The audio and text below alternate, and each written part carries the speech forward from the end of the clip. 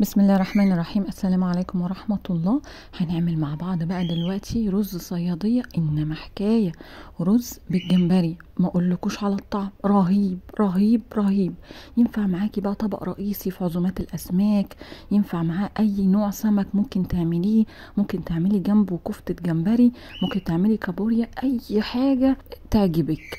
المهم هو طعمه لوحده كفاية. ده انت ممكن تعمليه وجبة لوحده. طعم ما أقولكوش. خطير مش هتستغني عنه ابدا في أي عزومة.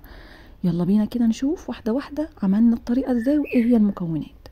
أول حاجة هبتدي بيها أنا جبت الحلة بتاعتي حطيت فيها شوية مية. هنزل عليها دلوقتي بشوية بهارات. البهارات اللي هستخدمها ملح وفلفل بابريكا زعتر شوية من بصل البودره وفصين حبهان وكم ورقة من اللورة. هنزل بيهم دلوقتي وهنزل عليهم دلوقتي ببصلايه كمان متقطعة.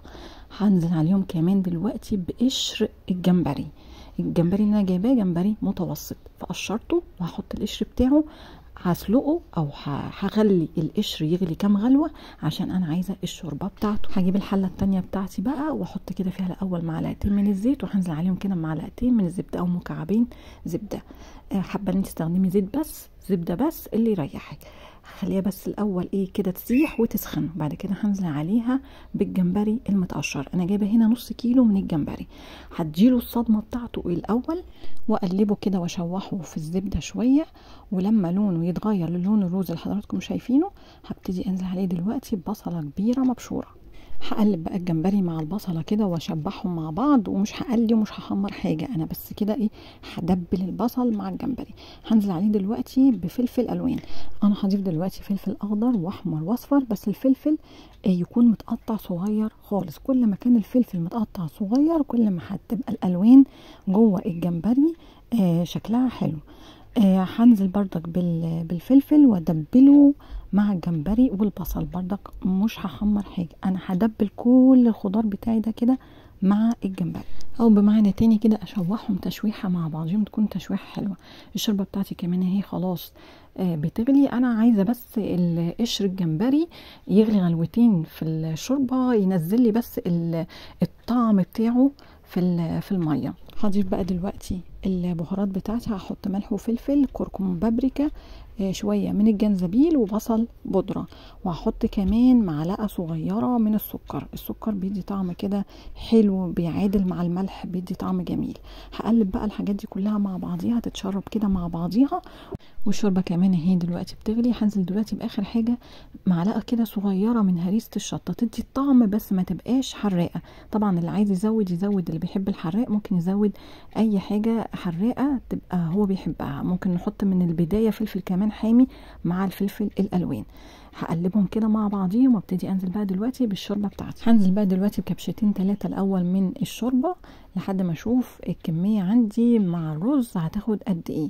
وطبعا ده بيغلي وده بيغلي فمش محتاجة إن هي أسيبها تغلي. هي أول ما هنزل الشوربة هتلاقيها مستمرة في الغليان. هنزل بقى دلوقتي بالرز بتاعي. ده رز مصري آه عادي مغسول ونظيف أنا حاطة هنا على كمية الجمبري نص كيلو حاطه كيلو إلا ربع من الرز. حابة تنصصي بمعنى نص جمبري مع نص رز أو العكس إن أنت تبقى الرز أكتر من الجمبري أو الجمبري أكتر من الرز. طبعا كل واحد هو حابب آه الوجبة بتاعته أو الوصفة بتاعته دي تبقى شكلها إيه.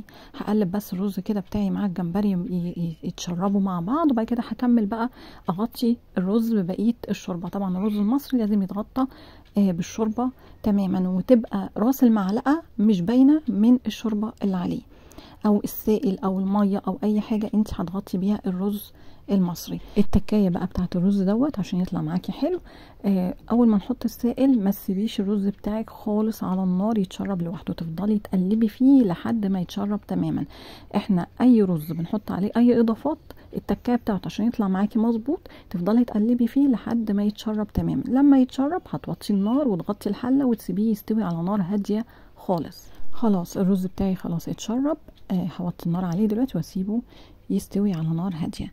إحنا كمان عاملين جنبه كابوريا وكابوريا ما صورتهاش لأن هي آه طريقتها سهلة وبسيطة. هتجيبيها وتغسليها كويس جدا بعد كده تنقعيها في مية بخل وليمون لمدة ساعة بعد كده تغسليها تاني هتحطيها في حلة فيها مية. البهارات اللي عليها أنا حاطة ملح وفلفل ورق لورا حبهان قرنفل زعتر وسنة قرفة وسنة جنزبيل وطبعا بصل. وهتسيبيها لحد ما تتسلق وتستوي تماما. خلاص ده الجمبري بتاعنا كمان بقى بعد ما طلعناه ما اقولكوش أنا مش عارفة أوصف لكم الطعم الصراحة رائع إزاي.